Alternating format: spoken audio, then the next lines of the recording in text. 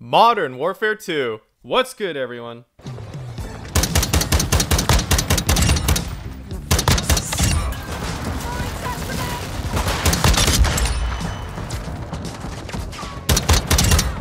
Hostile counter UAV Got the sniper!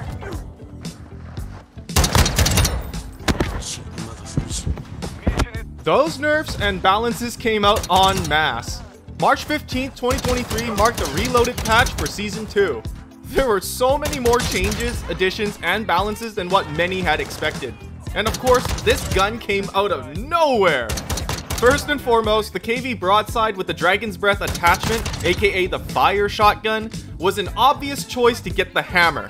That thing cleared a room full of armored players with an insane range, spread, and damage with barely any aiming. And a bunch of LMGs got hit as well, real hard. These guns were barely meta for a bunch of game modes, and they decided to make them crappier?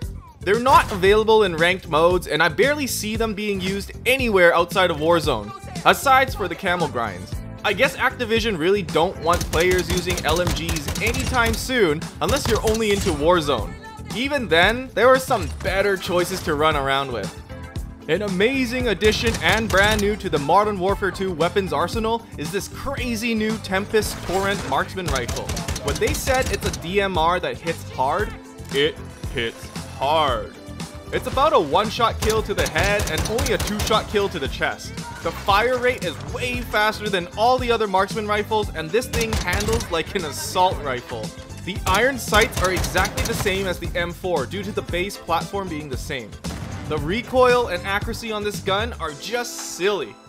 It fires sniper rounds faster than most semi-autos and doesn't even kick back or recoil like the Signal 50.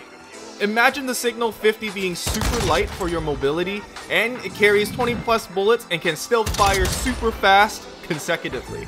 If people can fire this thing like a fully automatic, and from what I hear, people using controller mods for that turbo functionality, this gun will be in the stratosphere for the meta. I can definitely see this Tempus Torrent being nerfed very soon.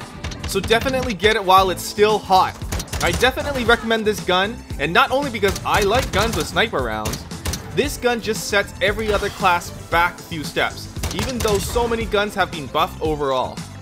This was my first game with the Tempus Torrent, and I was able to get a high amount of kills and easily get that gunship score streak going. The DMR ruled Warzone 1 for quite some time until it got nerfed real hard. Folks, I can say that this is the replacement for that very DMR. This is the meta on the rise. This gun is way too fun and powerful to be called balanced. It was a good choice to leave marksman rifles out of rank mode because we will start to see this gun dominate other modes quite profusely.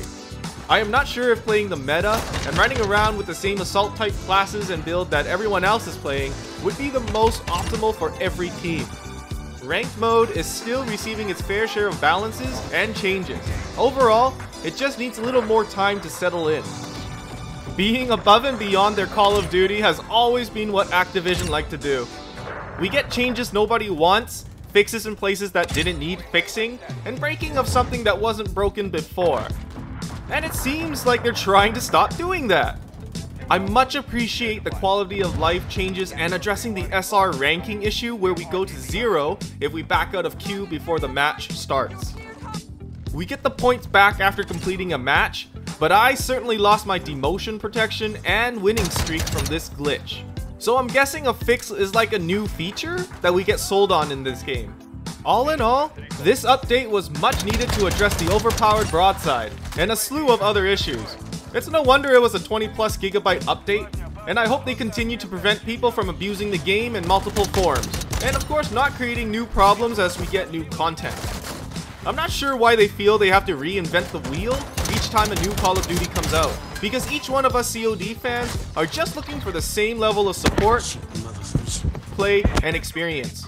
Let's hope they stop breaking what's not broken! Thank you everyone for amazing comments on my videos as of late. I will be sure to keep them coming to keep you entertained. I am loving Call of Duty and YouTube so much, and I will try to double my uploads every month. Subscribe and come back to check them out, yeah? Peace!